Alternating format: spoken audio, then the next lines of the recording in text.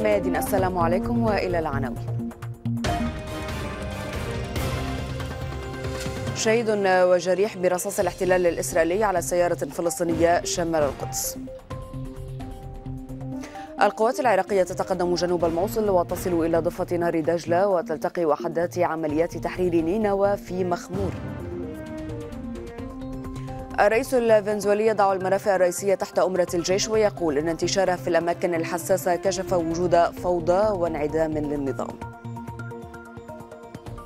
أهلا بكم. استشهد فلسطيني برصاص جنود الاحتلال وجرح آخر بعدما فتح جنود الاحتلال النار على سيارة فلسطينية شمال القدس فيما اعتقل ثالث بحسب ما أفاد مراسلنا في فلسطين المحتله وسائل إعلام إسرائيلية قالت إن جنودا اشتبهوا بمحاولة سيارة دهسهم عند حاجز الرام فأطلقوا النار عليها.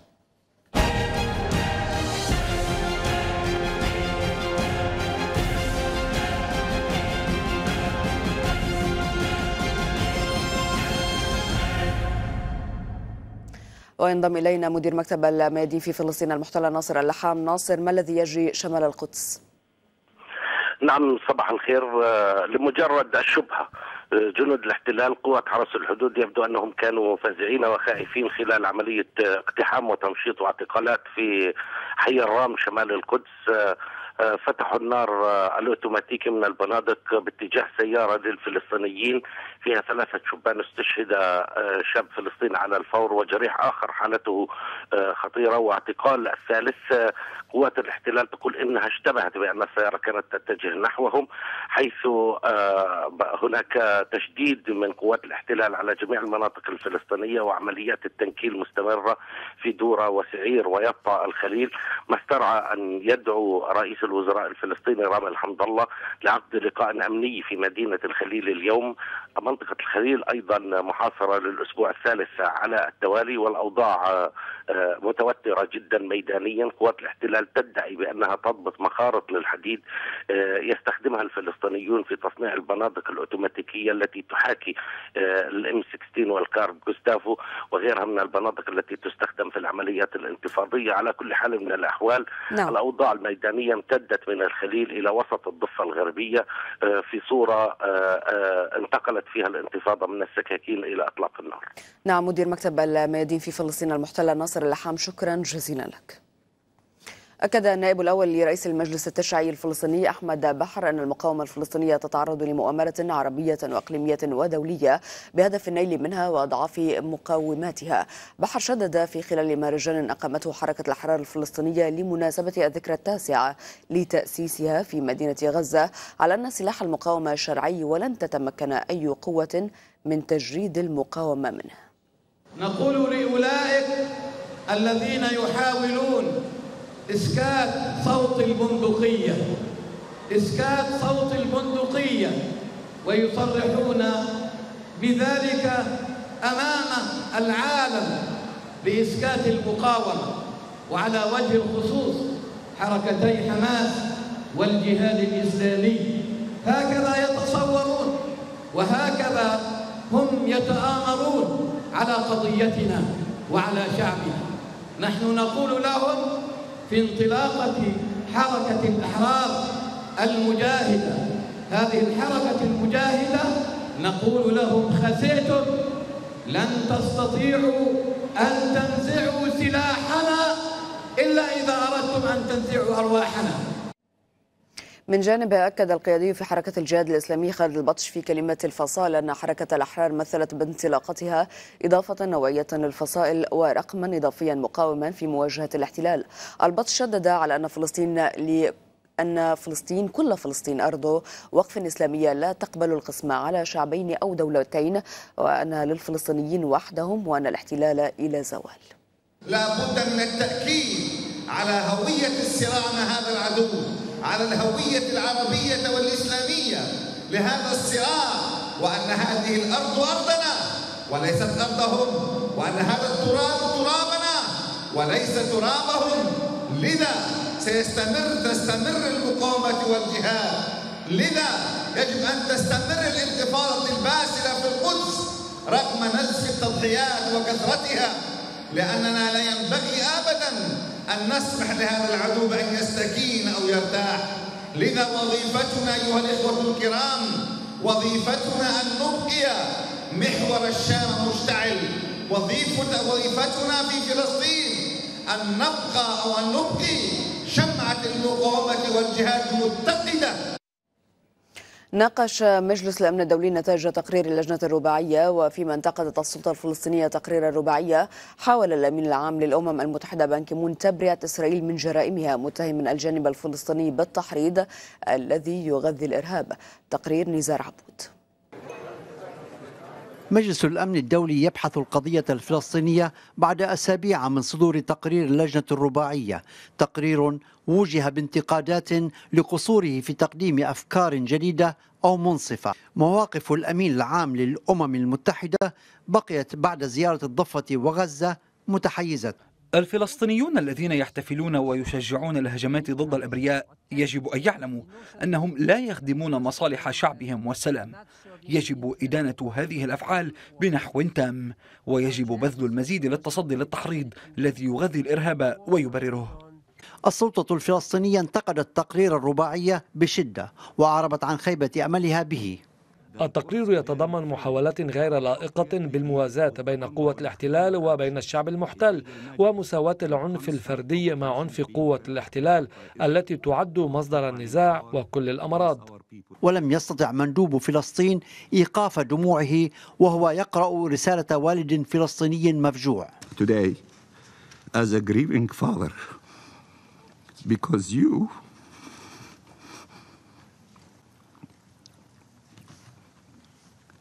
الولايات المتحدة عبرت عن القلق من أن يصبح حل الدولة الواحدة واقعا من دون طرح العلاج.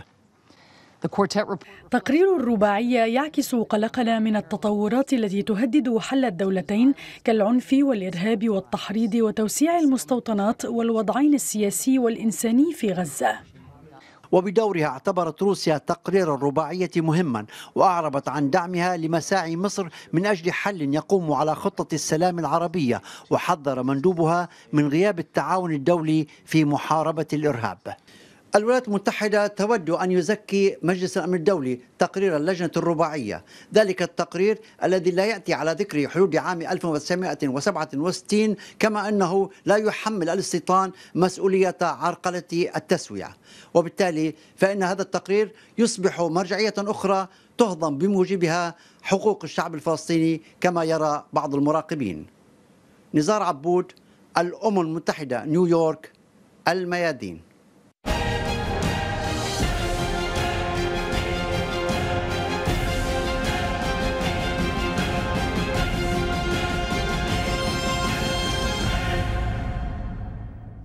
قال وزير الدفاع العراقي خالد العبيدي إن القوات العراقية التي تتقدم جنوب الموصل استعادت قرية اشحله شمال قاعدة القيارة لتلتحم مع وحدات أخرى من الجيش تتقدم في اتجاه آخر. أوضح العبيدي أن القوات العراقية وصلت إلى ضفة نهر دجلة والتقت وحده عمليات تحرير نينوى في مخمور.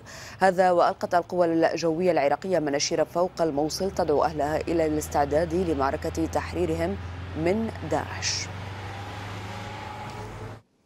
إلى سوريا حيث استهدفت ست قاذفات استراتيجية روسية بعيدة المدى من طراز تو 22 أم 3 مواقع تنظيم داعش شرق تدمر وفي السخنة وأراك بذخائر متشظية شديدة الانفجار وفق ما أعلنت وزارة الدفاع الروسية.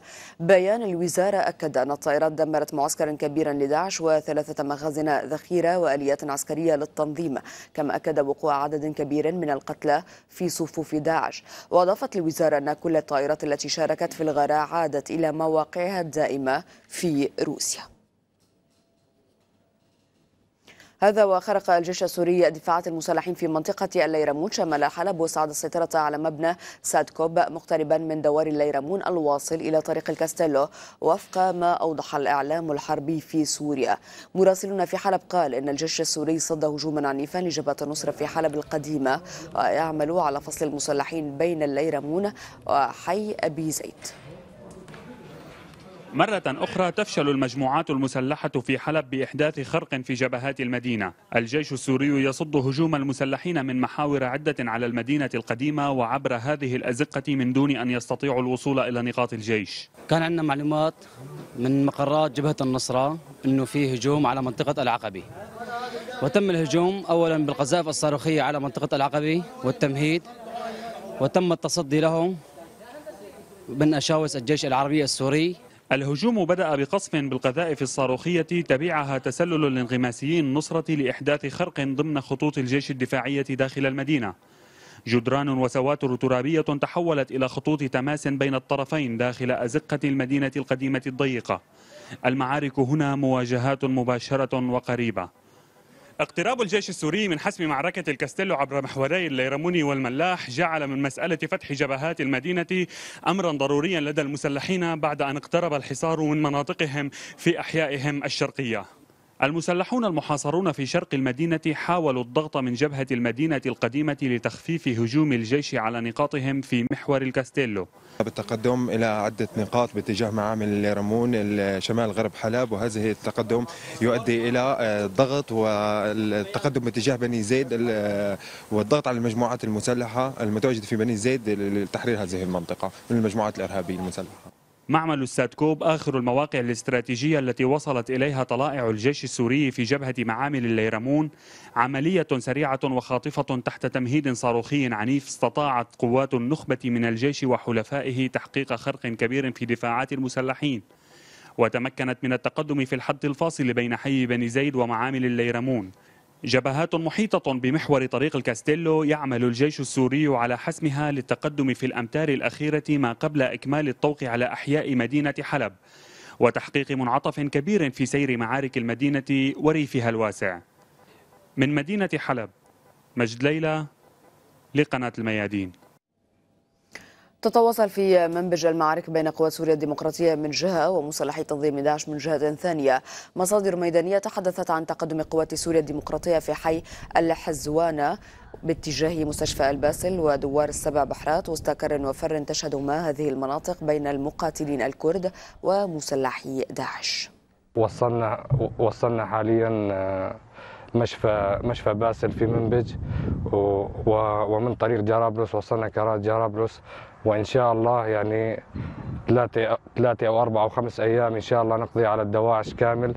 والحمد لله يعني من لما وصلنا لهون الشعب من الشعب من شافنا ارتاح وكل الشعب بلش يعني يقوم معنا وكل الشعب قام ينتسب معنا والحمد لله يعني الأوضاع متيسرة. فتنا بمنطقه ممج قمنا بتحرير حوازمة مشفى الباسل آه، حاليا قناصاتنا مركزة على الصوامع. والشباب معنوياتهم عالية عالية. وإن شاء الله خلال كم نهار يتحرر ممج يعم الخير بالمنطقة. الإعلام الحربي في سوريا بث مشاهد لتدمير وحدة من الجيش السوري صهريجا محملا بالمازوت تابعا لتنظيم داعش في قرية الأصلحة بريف السويداء الشمالي. يا الله. أمير الله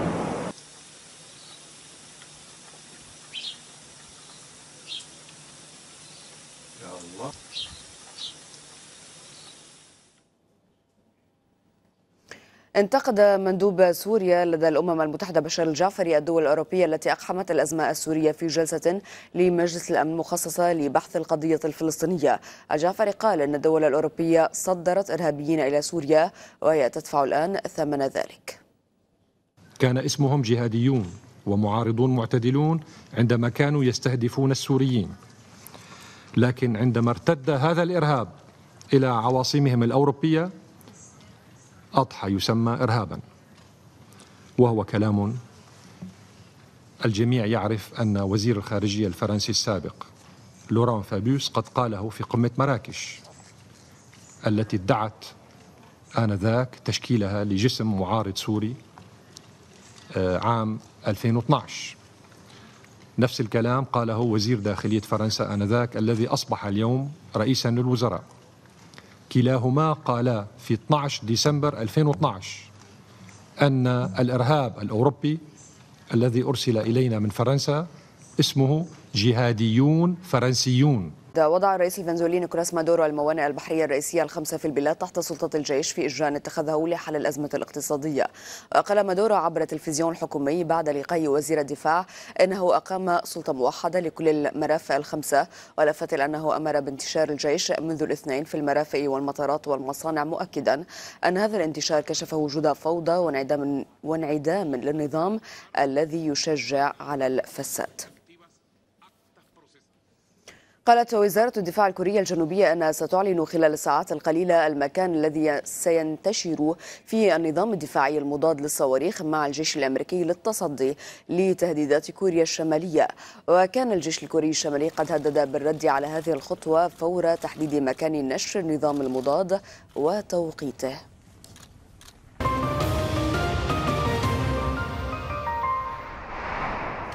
أعلن رئيس الوزراء البريطاني ديفيد كاميرون أنه سيستقيل من منصبه اليوم الأربعاء ليفسح الطريق أمام زعيمة حزب المحافظين الجديدة تيريزا ماي وتنتظر رئيسة الوزراء الجديدة ملفات عديدة لعل أهمها التفاوض مع بروكسل من أجل خروج بريطانيا من الاتحاد الأوروبي. تريزا ماي رئيسة لوزراء بريطانيا فوزيرة الداخلية الأطول في تاريخ المملكة المتحدة لم تكد تبدأ حملتها الوطنية لإقناع 150 ألف عضو في حزب المحافظين بزعامتها للحزب حتى انسحبت منافستها أندريا ليدسوم من السباق بعد هفوة سياسية أثارت ضجة حيث أشارت إلى ميزتها عن منافستها بالأمومة فأصبحت الطريق سالكة لتريزا ماي للفوز بزعامة الحزب وعرش الداونينغ ستريت. هناك حاجة بالطبع إلى التفاوض من أجل أفضل صفقة لبريطانيا للخروج من الاتحاد الأوروبي وصياغة دور جديد لأنفسنا في العالم. بريكزيت يعني بريكزيت.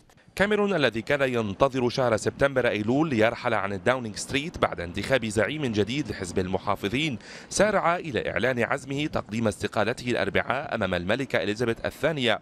بعد الانتهاء من آخر جلسة برلمانية له بعد ست سنوات من رئاسته للحكومة. يوم الأربعاء سأحضر جلسة برلمانية ومن بعد ذلك أتوقع أن أذهب إلى قصر باكنغهام وأقدم استقالتي وسيكون لدينا رئيس جديد للوزراء. تيريزا ماي التي كانت ضمن حملة البقاء في الاتحاد الأوروبي ستتصدر أجندتها السياسية العلاقة مع بروكسل. رغم أنها كانت حاسمة بأن قرار مغادرة الاتحاد نهائي لكنها ستعمل على التفاوض بأفضل الشروط لبلادها. الحكومة الجديدة ستعمل على تشديد الإجراءات ضد المهاجرين. تعتقد أن حزب المحافظين سيعتمد النهج الاقتصادي السابق ذاته في الحكومة الجديدة. تيريزا ماي التي تعد من أشد معارضي المهاجرين ولا سيما الأوروبيين منهم سيعكس شكل وأداء حكومتها المقبلة مدى العلاقة مع الاتحاد الأوروبي في ظل توقعات بتولي المشككين بأوروبا مناصب قيادية فيها. تواجه رئيسة الوزراء الجديدة مطالب من الأحزاب المعارضة بإجراء انتخابات مبكرة حتى تحصل على تفويض شعبي في إدارة البلاد. لكن تيريزا ماي رفضت ذلك متسلحة بتأييد نواب حزبها وعدم توفر الأصوات اللازمة للمعارضة في البرلمان لسحب الثقة من زعيم حزب المحافظين. مستصر لندن الميادين.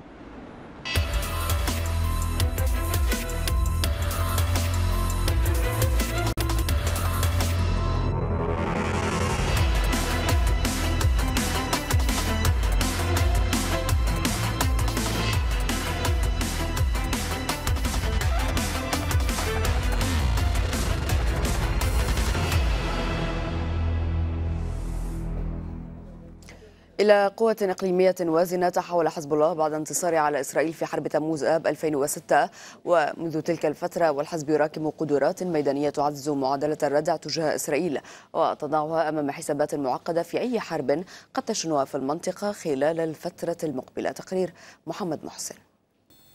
إذا قصفتم عاصمتنا سنقصف عاصمة كيانكم الغاصب.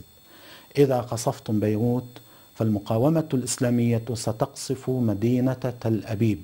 هذا التهديد كان مفصليا في حرب تموز 2006 لكنه تحول بعدها بسنوات قليلة إلى بديهة من بديهيات أي حرب مقبلة بين إسرائيل والمقاومة. تطور مفهوم الردع بين إسرائيل والمقاومة بما لم تعهده إسرائيل خلال عقود من سطوتها في المنطقة. تقاعد رئيس الأركان الإسرائيلي السابق بني جانتس قبل أن يحقق تهديده الأخير بإعادة لبنان ثمانين عاما إلى الوراء. يقول خلفه جادي أيزنكوت في آخر تصريحاته إن التهديد من لبنان لا يزال قائما.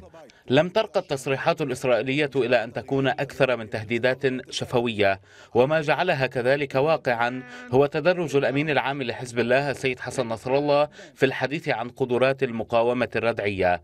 يدرك الإسرائيليون قبل غيرهم أن نصر الله يخفي في جعبته مفاجآت لن يستخدمها في سياق الحرب النفسية المتبادلة لكن المعلن على لسان نصر الله حتى اليوم يبدو كافيا للردع. حصار بحري يمكن أن تفرضه المقاومة على كل الساحل الفلسطيني المحتل. نقل جغرافيا المعركة إلى الجليل الفلسطيني المحتل.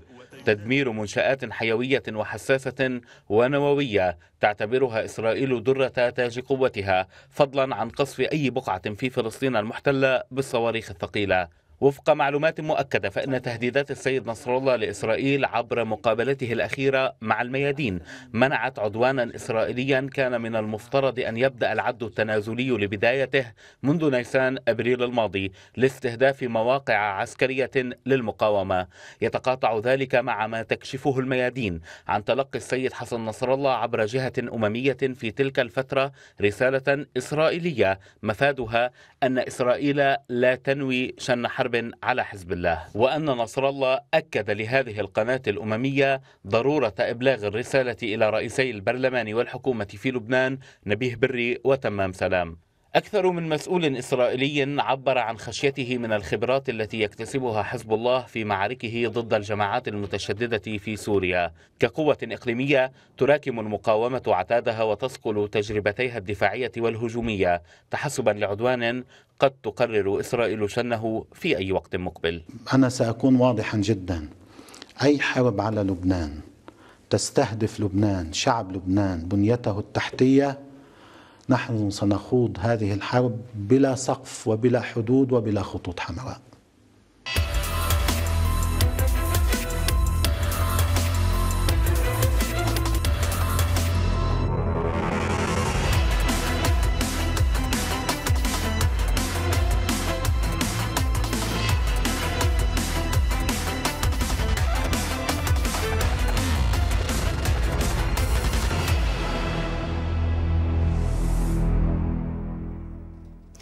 والآن إلى أبرز معلومات بعض الصحف العربية الصادرة هذا الصباح مع زميلتي فاطمة روماني. صباح الخير فاطمة. صباح الخير لنا. شكرا لك. صباح الخير مشاهدينا الأعزاء. نبدأ جولتنا من سوريا مع صحيفة الوطن.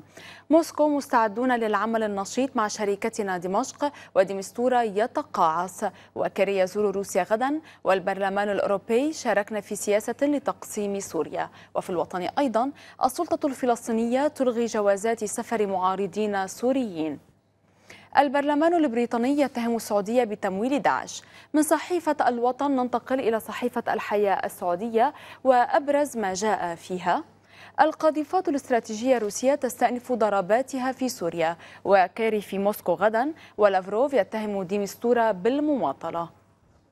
معارضة سياسية لتجنيس السوريين في تركيا واتهام أردوغان باستخدامهم ورقة انتخابية وللحصول على أموال أوروبية. وفي الحياة أيضا تعاون أمريكي كردي لتحرير الموصل وواشنطن تتكفل بدفع رواتب البشمركة حتى نهاية الحرب ضد داعش.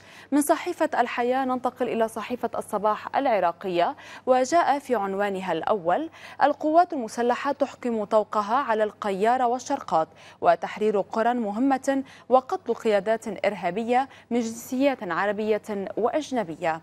الحكومة تدعو إلى تأجيل التظاهرات وتجنب الفوضى. إلى الصحف اللبنانية مع صحيفة الأخبار وأبرز ما جاء فيها نتنياهو يدفع إلى مؤتمر إقليمي مع دول الاعتدال. ونبقى في الأخبار أيضا حاخام الجيش الإسرائيلي لجنوده اغتصبوا سبايا الحرب. إلى الصحف الفلسطينية مع صحيفة القدس وجاء في عنوانها الأول القاهرة تعد لعقد قمة إقليمية لإطلاق المفاوضات وفي القدس أيضا المستوطنون في الضفة واحد مقابل ثلاثة فلسطينيين مخطط لمصادرة, لمصادرة آلاف الدنومات من الأراضي العربية في الداخل. وإلى الصحف الكويتية مع صحيفة القبس مفخخة الكرادة خضعت للتفتيش سبع دقائق وفي القبس أيضا مهام شاقة تنتظر ميركل البريطانية توافقية أقرب إلى اليمين وتحب المشي والطبخ والمزاح. ونختم مع صحيفة القدس العربي. مستوطنون يهود يؤبنون قتلاهم في حرب الأقصى في حرم الأقصى والخارجية الفلسطينية تدينها وتعتبرها سابقة سابقة خطيرة. تعيين رجل دين يهودي يفتي باغتصاب العربيات حاخاما لجيش الاحتلال. نأتي لختام جولتنا وعودة إليك رانا شكرا لك فاطمة. ونحن نعود إلى عناوين النشرة. شهيد وجريح برصاص الاحتلال الإسرائيلي على سيارة فلسطينية شمال القدس. القوات العراقية تتقدم جنوب الموصل وتصل إلى ضفة نهر دجلة وتلتقي وحدات عمليات تحرير نينوى في مخمور. الرئيس الفنزويلي يضع الملف الرئيسي تحت أمرة الجيش ويقول أن انتشار في الأماكن الحساسة كشف وجود فوضى وانعدام للنظام. للمزيد من الأخبار والتقرير زوروا موقع الميادين على الإنترنت الميادين دوت نت ولمتابعينا باللغة الإسبانية اسبانول دوت الميادين دوت نت. إلى اللقاء.